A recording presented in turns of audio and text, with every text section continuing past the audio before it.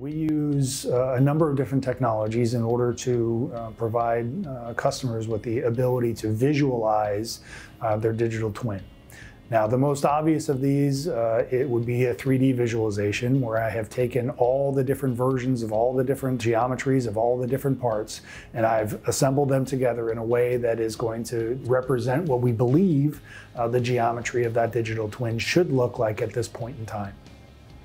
But that's not the only way to visualize that data. It's also important to visualize, for example, the, a, just a, a breakdown, uh, a hierarchical breakdown of all the components, all the subsystems, including their serial numbers, when they were installed. You can also visualize it using what we would call a graph visualization, uh, where I can start with a physical component and around it I see all the things that are related to that physical component, including things like nonconformance reports or uh, problem reports, uh, the original design, the original requirements, uh, the manufacturing build information, test information. By using graph visualization, we can see all the data that is related to it in one place. Uh, the collaboration between uh, between different people in different parts of the product lifecycle is, um, to me, almost nirvana. It's the holy grail here that you know, the technician that's performing maintenance